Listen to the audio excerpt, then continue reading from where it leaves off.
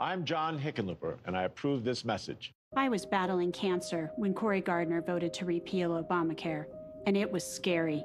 Fighting cancer and watching my own senator vote to take health care away from me.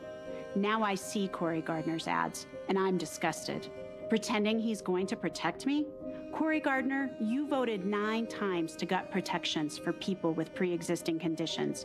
There are 2.4 million of us in Colorado, and we know.